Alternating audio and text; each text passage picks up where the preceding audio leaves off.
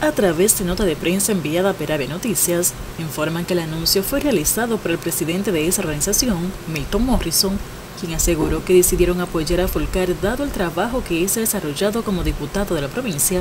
entendiendo que como senador lo hará con más fuerza. Eh, lo estamos recibiendo en el día de hoy para de una manera formal eh, externarle el apoyo que el Partido País Posible eh, está dando como nuestro candidato, como el candidato de la eh, gran alianza, como el candidato del PRM y la gran coalición de partidos que agrupa. Pero nosotros como país posible tenemos una eh, particular intención de contribuir y ser un partido que de manera fundamental pueda aportar los votos para que también Julito Fulcal sea un senador que represente a esa provincia y el país. Especifica el comunicado que el actual diputado y candidato a senador agradeció a País Posible el ingeniero Milton Morrison por el apoyo y aseguró que cumplirá con los acuerdos arribados con la organización política de trabajar en favor de la provincia sureña. De tal manera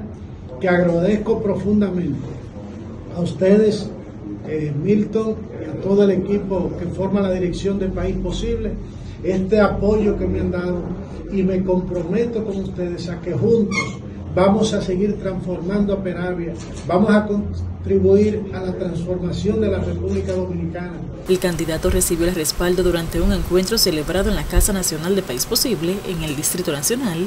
donde participaron además de Milton Morrison, Tomás Umbría, segundo vicepresidente del partido, también los miembros del comité político de esa organización, Adonis Javier, Jonathan Chevalier, Franklin Morrison y Margarita Catrenco.